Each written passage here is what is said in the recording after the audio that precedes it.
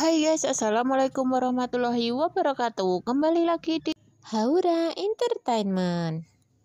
Kali ini kita akan membahas drama series Malaysia Melo untuk Firdaus. Dalam pembahasan kali ini tentang Haris yang mengetahui alasan Melur tak terima cintanya.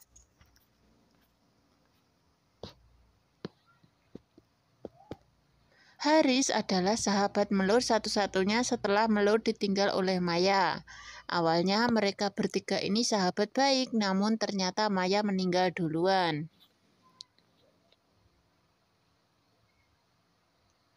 Dari dulu Haris menyukai Melo. Melo pun tahu sebenarnya Haris menyukainya. Namun Melo juga tahu kalau Maya juga menyukai Haris. Maka dari itu Melo selalu menganggap candaan ketika Haris merayunya atau memberikan hadiah untuknya. Sampai saat ini Haris belum tahu kalau Maya menyukai dirinya dan itu sebabnya Melur tak bisa terima cinta Haris.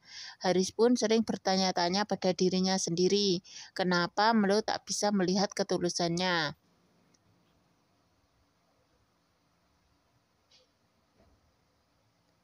Padahal Haris selalu ada untuk Melo ketika Melo susah dan senang.